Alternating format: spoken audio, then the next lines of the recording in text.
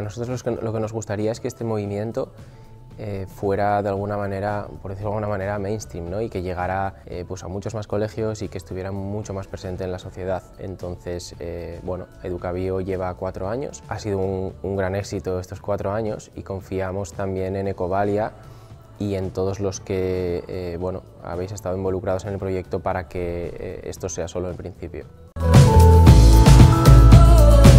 Pues los alumnos lo que más han valorado yo creo que es el poder hacer actividades diferentes. La verdad que lo han, lo han valorado muy positivamente.